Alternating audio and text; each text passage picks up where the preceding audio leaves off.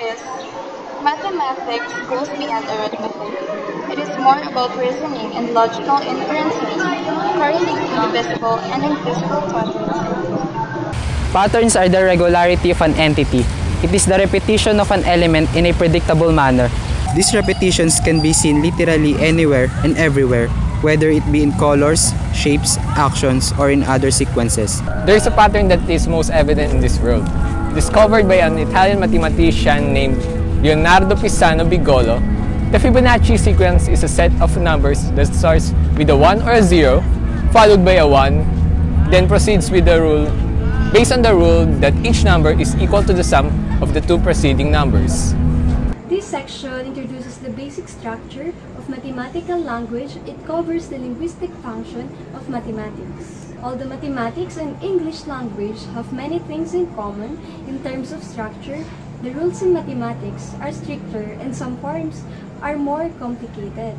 The following item summarizes some unique characteristics of mathematical language. First, it is precise because it can be stated clearly.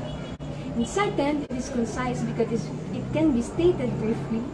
Third, it is more powerful because it is capable of expressing complex ideas into simpler forms. And fourth, it is not non-temporal, it has no tenses which makes it so unique as compared to other languages. And fifth, it also has vocabulary and parts of speech.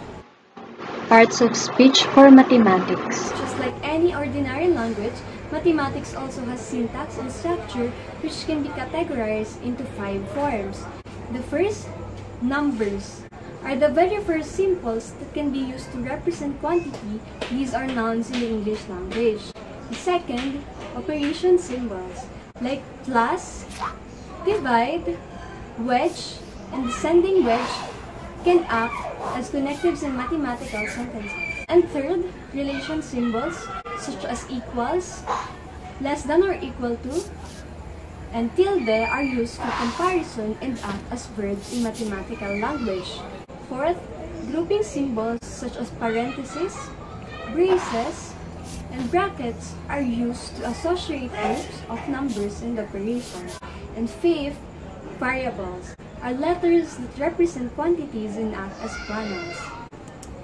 A mathematical expression refers to objects of interest acting as the subject in the ordinary language, a sentence which can be regarded as true or false. Since mathematics is the same all over the world, math can act as a universal language. A phrase or formula has the same meaning and comprehension regardless of another language that accompanies it. Hence, in this way, math helps other people learn and communicate even if other communication barriers exist.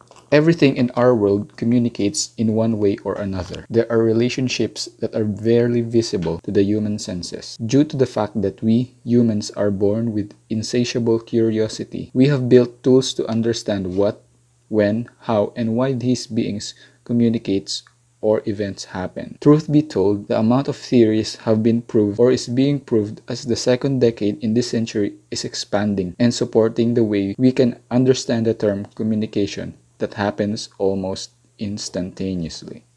Rain clouds become dark or gray instead of white when it is about to rain because of its thickness or height.